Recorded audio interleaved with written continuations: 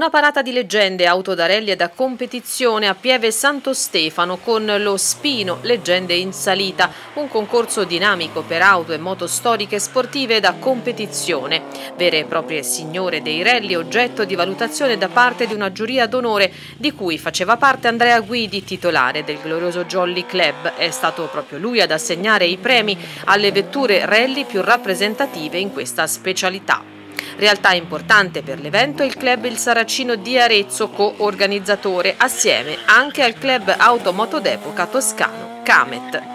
Se non ci fosse passione non saremmo alla seconda riedizione di questo concorso dinamico per auto da competizione e sportive che gli amici dello Spino, loro sono i veri proprietari e i dirigenti dello Spino hanno messo a calendario io li aiuto esternamente per curare la logistica per trovare macchine importanti. Non si tratta di una cronoscalata, non c'è nella maniera più assoluta rilevamento tempi, però le macchine sono quelle che sono salite sui tornanti già a partire dagli anni 60.